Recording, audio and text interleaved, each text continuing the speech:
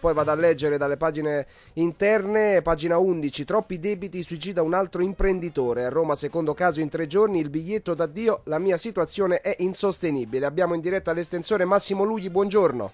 Buongiorno a voi. Buongiorno, buongiorno Massimo. Allora Salve. Massimo, la situazione insomma, di questo ennesimo suicidio dovuto a, al lavoro.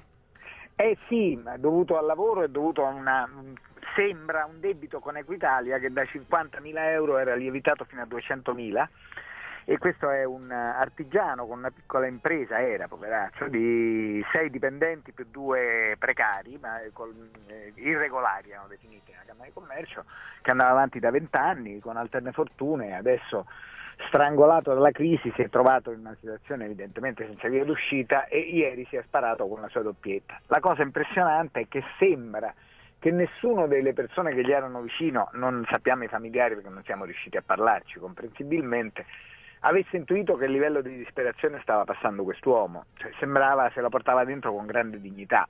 La, l'azienda era, eh, aveva avuto la cassa integrazione per tre dipendenti e eh, nel giornale scorso era in fallimento. Quindi una situazione che purtroppo è molto frequente tra gli artigiani e le piccole imprese del Lazio, non solo del Lazio ovviamente situazione molto difficile. Massimo, grazie per questo flash, questo commento. Lo leggiamo a pagina 11, leggiamo della, a pagina Repubblica. 11 della Repubblica. Ti ringraziamo, buona giornata. Grazie a voi, buona giornata.